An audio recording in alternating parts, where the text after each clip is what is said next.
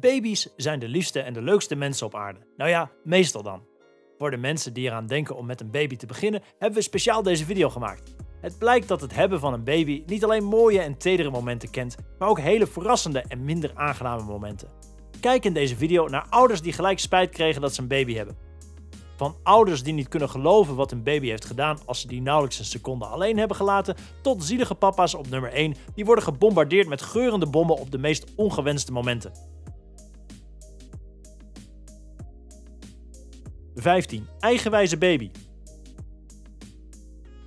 Baby's willen snel groot worden en vinden het helemaal geweldig wanneer ze zelf iets kunnen vasthouden met hun handjes. Wat ze vaak niet doorhebben, omdat ze gewoon nog veel te klein zijn, is dat ze hun lichamelijke motoriek overschatten. Hier zie je een eigenwijze baby die waarschijnlijk pas heeft leren drinken uit een tuitbeek. Omdat hij denkt dat hij goed kan drinken, houdt hij de kan te veel naar achteren en oepsie, al zijn yoghurt komt uit de kan stromen en valt over zijn hele gezicht. Moet je eens zien hoe hij zelf ervan schikt. Veel te grappig dat gezichtje. En dat wordt nu opruimen geblazen voor zijn gelukkige mama of papa. 14. Twee baby's. Het hebben van een baby is al een grote opgave op zich. Wat zou je ervan vinden om twee baby's tegelijk te hebben? Het kan gebeuren en dan moet je maar hopen dat je net zo'n paar hebt als deze twee. Terwijl de ene baby met het rompertje aan hartverscheurend ligt te huilen, kijkt de andere baby heel geschrokken toe. Kijk hoe groot zijn ogen zijn van verbazing. Gelukkig wordt hij in ieder geval niet aangestoken om ook te beginnen met huilen. Dat zou pas echt een ramp worden. Twee huilende baby's op hetzelfde moment is het laatste dat je wil meemaken. 13. Geef eens een kusje. Wanneer je baby er eenmaal is, dan word je eigenlijk helemaal betoverd en zonder dat je het weet wil je jouw baby alleen maar knuffelen en kusjes geven. Maar wat doe je als je zo lang hebt gewacht om dit eindelijk te kunnen doen en jouw lieve baby doet precies hetzelfde als deze baby? Ze keert haar hoofdje naar links en rechts en vermijdt vastberaden alle kusjes die haar worden gegeven. Zal ze een reden hebben hiervoor, denk je? Misschien ruikt de kussen niet zo fris en heeft ze er geen zin in. 12. Groente jakkes.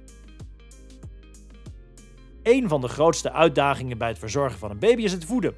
Wanneer ze de leeftijd hebben bereikt om vast voedsel te kunnen eten, wordt dat een apart avontuur voor de ouders. Kijk maar hoe dit jochie niet blij wordt wanneer hem groente wordt voorgeschoteld. Hij weet meteen dat hij het niet lust en maakt zijn ongenoegen bekend door er hard op los te huilen. Hoe denk je dat zijn ouders hem de groente toch hebben laten opeten? Of hebben ze hem voor dit keer een kans gegeven? Laat het ons weten in de comments.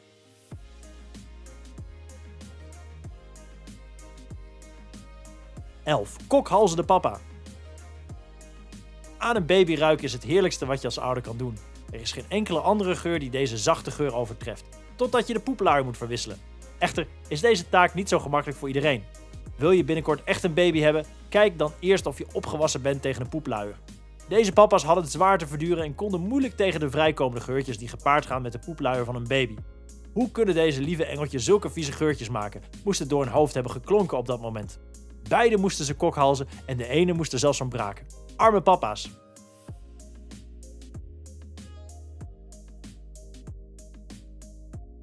Vaselinebaby's. Zodra baby's kunnen lopen en klimmen, breekt er een nieuwe tijd aan. Het is een spannende tijd waarop ouders zich moeten voorbereiden, want neem het maar van ons aan dat je extra energie en genoeg ogen zou moeten hebben om ze bij te houden. Je zult ongetwijfeld dit soort kattenkwaad tegenkomen. Op een onbewaakt moment haalde deze baby een hele pot vaseline leeg en smeerde die over zijn hele lichaam en gezicht. Wat zou je doen als je jouw baby zou betrappen hiermee? Zou je boos worden of zou je erom kunnen lachen?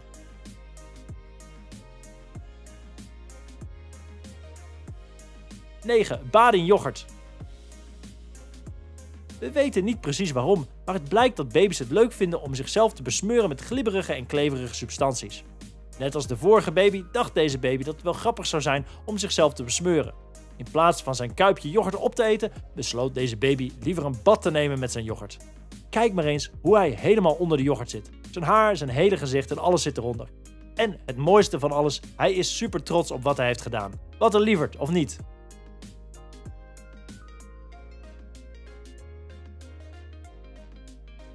Acht. Nooit genoeg pseudocrème. Niet alleen vaseline en yoghurt zijn het slachtoffer van de kleine handjes van nieuwsgierige kindjes, maar ook met pseudocrème kan je hetzelfde effect bereiken. Wees er dus maar op voorbereid dat je dit ook eens een keer kan aantreffen met jouw kind.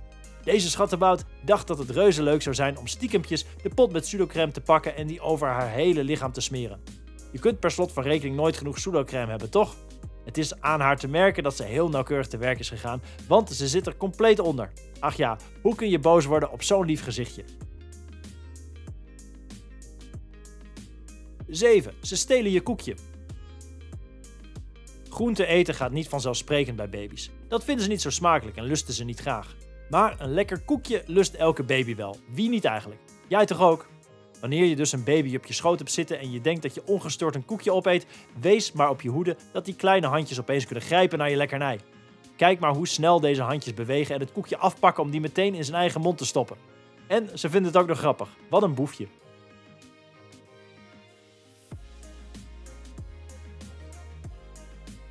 Zes. De voetjes smaken heerlijk. Wie ooit een baby voor lange tijd heeft geobserveerd, zal weten dat ze graag hun voetjes in de mond stoppen om eraan te zuigen en te knabbelen. Wat de eigenlijke reden hiervoor is, weten we niet zeker. Misschien smaken hun voetjes lekker, wie zal het weten. Deze baby is een slimmerik en geeft haar voetjes wat extra smaak door er chocoladepudding op te smeren. Babyvoetjes met een chocoladesmaak, dat is toch een hemelse combinatie. Je weet niet wat je mist.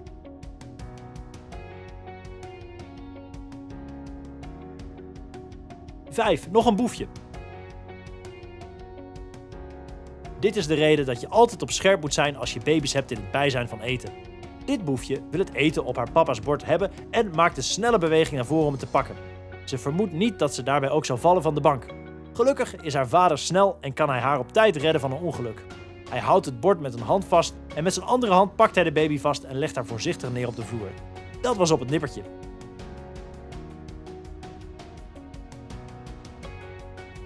4. Boze baby. Het laatste wat je wil doen is jouw baby wrevelig maken, want je weet wat er daarop volgt. Precies ja, een lawine van gehuil. Maar hoe dan ook zal je baby vaak huilen en dat is een van de onvermijdelijke geneugten van het ouderschap. Ze zijn lerende en begrijpen vaak nog niet hoe alles werkt. Net als deze baby, die probeert om de blokjes in het juiste gat te krijgen. Het lukt hem niet zo goed en hij wordt boos. Toch bedenkt hij iets slims en maakt de bak nu open om gewoon alle blokjes erin te douwen. Knap hè?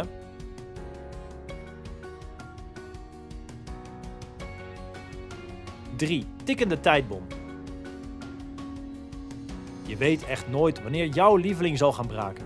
Het kan op elk moment gebeuren en ze zijn net een tikkende tijdbom. Het braaksel komt dan uit de neus en uit de mond in kleine tot grote hoeveelheden naar buiten. Ben je voorbereid hierop? Kijk maar naar deze brakende baby. Hij laat al lopende een grote hoop erop los. Pas maar op dat je niet te dichtbij van hem zit of staat. En deze mensen hadden wel de pech dat de baby op hun kotste. En niet gewoon op ze, maar wel op hun gezichten en sommigen precies in de mond. Gadverjakkers, les geleerd, schud dus nooit een baby wanneer hij pas gegeten heeft.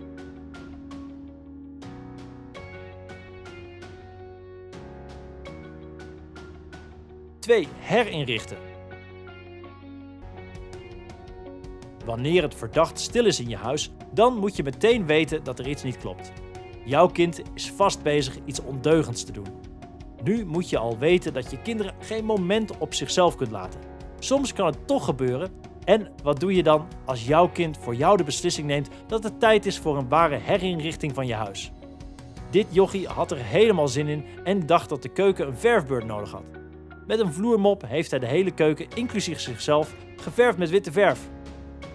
Hoe zou jij hierop reageren? Zou je door het lint gaan of kalm blijven?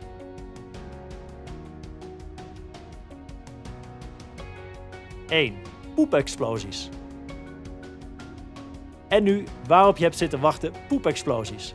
Niemand kan ontkennen dat poepen moet gebeuren, maar niemand poept op hetzelfde niveau zoals baby's.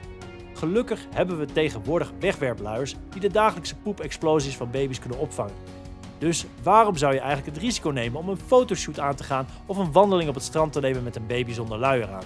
Je vraagt er een beetje zelf om, of niet? Deze papa's hebben het geweten. Wil je ooit een poepexplosie op je rug voelen, dan is deze houding een idee om te overwegen tijdens een fotoshoot. Of als je liever je baby in je armen houdt, dan maar deze stand proberen. En deze foto van het strand samen met zijn tweetjes is ook een leuke herinnering voor het fotoalbum.